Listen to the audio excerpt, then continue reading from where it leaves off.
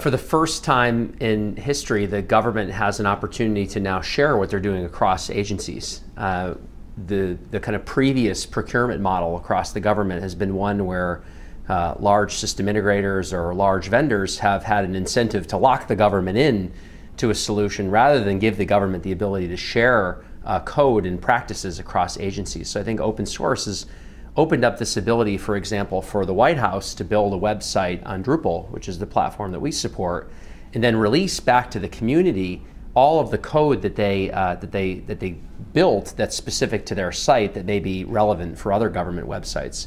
Uh, and they've done that, and they've done that more than once. And Energy.gov did that around their web initiative, and FCC.gov did that around their initiative, pr- leveraging previous efforts by others and also pushing the community forward by producing new code uh, that gets produced for uh, others to use.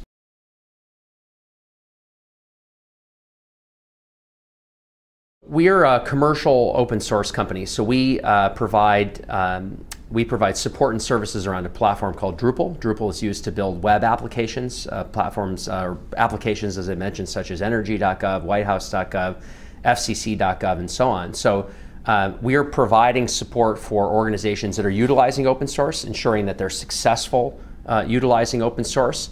And as a company, we also contribute all of what we do back to the community. So if we get engaged with a customer and we find, for example, a significant bug or a significant uh, enhancement to the Drupal web content management system, we're able to contribute that back to the community, therefore pushing the community forward.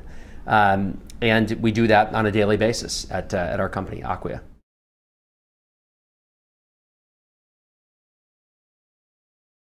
We would recommend that organizations, number one, uh, still do their research. There are technology areas where there are uh, there are niche proprietary solutions that do a better job than open source. There are um, areas where there are multiple competitive open source solutions. So you still have to make sure that the solution that you're selecting, whether it's open source or not, meets the business need um, of the agency. The second thing is ensure that you select the right partners. So there are partners that have more experience working with open source technologies than others.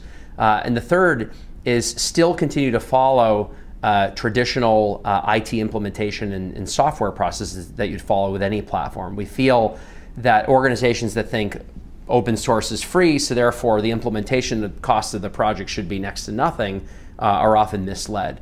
Open source is more about freedom of innovation, so you can move a lot faster, you can implement capabilities a lot faster, but that doesn't mean that the implementation is free as well.